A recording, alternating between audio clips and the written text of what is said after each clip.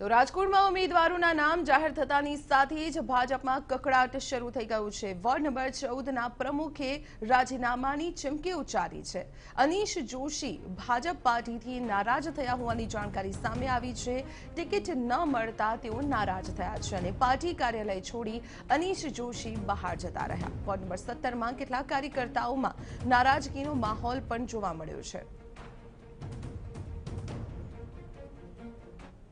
આ લોકો છેલ્લા દસ વર્ષથી એવી મનમની હલાવે છે કે રાજકોટના સંગઠનની ભારતીય જનતા પાર્ટીને ઘણું નુકસાન પહોંચાડ્યું છે. એ પણ આજે પણ કાર્યકર ઘણા બધા એવા છે. હજારો કાર્યકર્તા છે એ પણ જોવે છે. અને આના માટે માન્ય આપણા પ્રદેશ અધ્યક્ષ સી આર પાટીલ સાહેબને મારી નમ્ર અપીલ છે કે સાહેબ, ભારતીય જનતા પાર્ટીને જો આપણે કાંઈ પણ નબળી પડતા અટકાવ્યું હોય તો સારા માણસના હાથમાં સંગઠન સોંપવું પડશે. ત્યારે આ મામલે વધુ વિગતો મેળવીએ. સંવાદદાતા મોહિત ભટ્ટ પાસેથી. મોહિત રાજકોટના ઉમેદવારોના નામ જાહેર થઈ ગયા છે અને વીસ સિટિંગ કોર્પોરેટરના પત્તા કાપવામાં આવ્યા છે. હવે ધીરે ધીરે નારાજગીનો માહોલ સપાટી પર આવે તેવી પૂરી શક્યતાઓ છે. ડેમેજ કંટ્રોલ માટે ભાજપ કેટલું તૈયાર છે અને અત્યારની શું પરિસ્થિતિ સામે આવી રહી છે?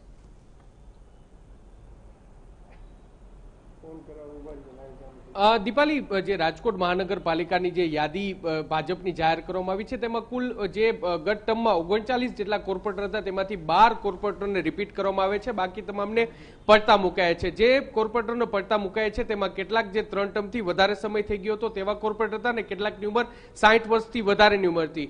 જો કે આ વખતે જે તે પ્રદેશ પાર્લામેન્ટરી બોર્ડે આ નિર્ણય જાહેર કર્યો, જેના કારણે કેટલાક યુવાનો છે, કેટલાક યુવા નેતાઓ છે કે જે પક્ષ સાથે ઘણા સમયથી જોડાયેલ છે, તેમને ટિકિટ મળે તેવી આશા હતી. જો કે તેમાં ક્યાંક એક નિરાશા છે તે જોવા મળી છે. જે રાજકોટ શહેર ભાજપ કાર્યાલય ખાતે વોર્ડ નંબર ચૌદ અને વોર્ડ નંબર સત્તરમાં જે આંતરિક જૂથવાદ છે, આંતરિક ભડકો છે અને જે ટિકિટ ન મળતા નારાજગી છે, તે ઉડીને આંખે વળગી હતી અને કેટલોક જે વિરોધ છે તે ભાજપ કાર્યાલય જોવા મળ્યો હતો. બીજી તરફ, સૌથી મહત્વની વાત છે કે કેટલાક એવા યુવા ચહેરાઓને આમાં સ્થાન આપવામાં આવ્યું છે કે જે ખરેખર રાજકોટ શહેર માટે ફાયદાકારક નીવડી શકે છે ને ભારતીય જનતા પાર્ટીમાં તેઓ વર્ષોથી જોડાયેલા હતા. વોર્ડ નંબર સાતની વાત કરવામાં આવે તો વોર્ડ નંબર સાતમાં જે ભાજપના સિનિયર આગેવાન કશ્યપ શુક્લ છે તે કે જે ત્રણ વર્ષથી વધારે, ત્રણ ટર્મથી વધારે તેઓ કોર્પોરેટર થઈ ચૂંટાયા હતા. તેમના ભાઈ નેહલ શુક્લાની ટિકિટ આપવામાં આવી છે. આ ઉપરાંત જે દેવાંગ દેવાંગ માકડ કે જે રાજકોટ શહેર ભાજપ મહામંત્રી તરીકે ફરજ બજાવી રહ્યા હતા, તેમને પણ ટિકિટ આપવામાં આવી છે. દીપાલી, આપણી સાથે દેવાંગભાઈ માકડ છે. તેની સાથે વાત કરીશું. દેવાંગભાઈ જે સંગઠનમાં હોદ્દો ધરાવતા વ્યક્તિને ટિકિટ આપવામાં આવી. એટલે આપને જે વોર્ડ નંબર સાતમાં ટિકિટ આપવામાં આવી, શું કહેશો આપ? વોર્ડ નંબર સાતમાં રાજકોટનો સૌથી જૂનામાં જૂનો વોર્ડ. સૌપ્રથમ તો હું પાર્ટીના મોવડીઓનો માન્ય મુખ્યમંત્રી શ્રી વિજયભાઈ રૂપાણી સાહેબ પ્રદેશ અધ્યક્ષ આદરણીય સી આર પાટીલ સાહેબ તમામ મહામંત્રીશ્રીઓ પ્રદેશના અને પ્રદેશના આગેવાનોનો અને શહેર ભાજપના સર્વે આગેવાનોનો ખૂબ ખૂબ આભાર માનું છું કે તેમણે મારા પર વિશ્વાસ મૂકી અને મને ટિકિટ આપી છે. સાથે એ પણ આપને જણાવતા આનંદ થાય છે કે ભારતીય જનતા પક્ષના માન્ય મુખ્યમંત્રી સાહેબે જે રાજકોટમાં વિકાસના કામ કર્યા છે, જેમ કે આપણે એમ્સ હોસ્પિટલ આપી છે રૈયા રોડ ઉપર નવો અંડરબ્રિજ આપ્યો છે, નવું બસપોર્ટ નવું એરપોર્ટ, નવું રેસકોર્સ ટુ, આવા અનેક વિકાસના કામો થયા છે.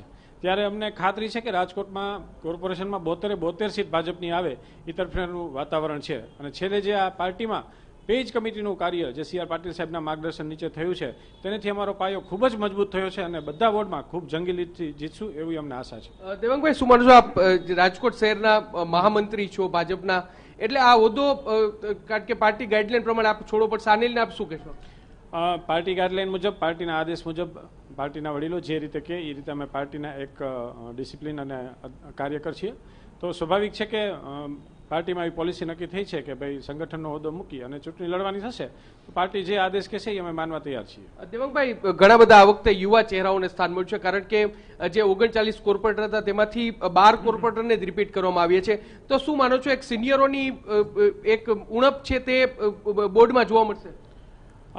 સામાન્ય રીતે સિનિયરો હોય તો ઘણો ફરક પડતો હોય છે પણ ભારતીય જનતા પાર્ટીમાં એક અભ્યાસ વર્ગની પ્રણાલી છે અને વડીલો હંમેશા ભારતીય જનતા પક્ષમાં નવા યુવાનોને માર્ગદર્શન આપતા હોય છે. એટલે મને વિશ્વાસ અને ખાતરી છે કે એમના માર્ગદર્શનથી બોર્ડ સરસ રીતે અને ખૂબ સુંદર રીતે રાજકોટના વિકાસ કાર્યો ફરીથી થશે. સ્પષ્ટપણે જે તે બોતેર જે બેઠકો છે તે જીતનો દાવો કરવામાં આવી રહ્યો છે. ત્યારે આપ જે પ્રકારે દ્રશ્યો જોઈ રહ્યા છો કે ટિકિટ મળતાની સાથે જ જે કાર્યકર્તાઓ છે તેમાં પણ એક ઉત્સાહ જોવા મળ્યો છે અને તે દેવાંગ માકડને અત્યારે ફુલાર કરી અને જયઘોષ છે તે પણ કરી રહ્યા છે. સૌથી મહત્વની વાત છે કે રાજકોટમાં જે પ્રકારે આખું જે માહોલ જોવા મળ્યો છે કે કેટલીક નારાજગી પણ જોવા મળી છે જો કે જે પ્રકારે ઉકળતો ચરું છે. હજુ સુધી જે વીસ કોર્પોરેટરોના નામ પણ કપાય છે સિટિંગ કોર્પોરેટર કપાય છે ત્યારે તેને લઈને કોઈ નારાજગી થાય છે કે કેમ? તે જોવાનું સૌથી મહત્વનું રહેશે જો કે જે યુવા કોર્પોરેટરોના જે. જે યુવા ઉમેદવારોને સ્થાન આપવામાં આવ્યું છે તે કેટલું મહત્વનું સાબિત થાય છે લોકો તેને કેટલા સ્વીકારે છે, તે પણ જોવાનું સૌથી મહત્વનું રહેશે. દીપાલી. જી, ચોક્કસ. મોહિત, આભાર. માહિતી આપવા બદલ તો આપણે જણાવી દઈએ કે રાજકોટ મહાનગરપાલિકા માટે ભાજપે ઉમેદવારોના નામ જાહેર કર્યા, જેમાં વીસ સિટિંગ કોર્પોરેટરના પત્તા કપાયા છે. જેમને ટિકિટ ફાળવવામાં આવી છે, તેમના સમર્થકોમાં ઉત્સાહ જોવા મળી રહ્યો છે. તો બીજી તરફ ક્યાંક ખુશી, ક્યાંક ગમનો માહોલ પણ જોવા મળ્યો.